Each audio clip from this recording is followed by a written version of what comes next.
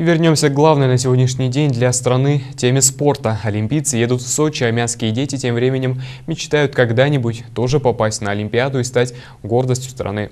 И у них есть такой шанс. Про школу Олимпийского резерва расскажем далее. Саша Гаев ходит на тренировки несколько раз в неделю. Он занимается легкой атлетикой уже несколько лет. В ближайших планах молодого спортсмена попасть на областные соревнования, а дальше стать лучшим в стране. Я хожу в школу Олимпийского резерва уже пять лет. Тут много друзей.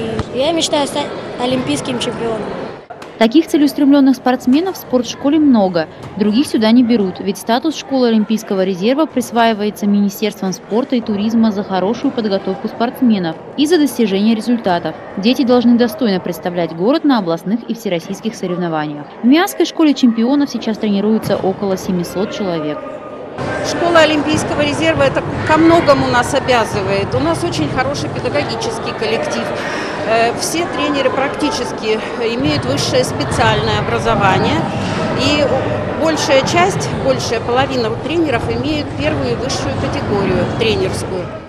17 миасских тренеров готовят в этой школе смену олимпийцам. Они надеются на то, что кто-нибудь из их воспитанников обязательно будет стоять на пьедестале почета и под гимн России поднимать вверх Кубок Победителя.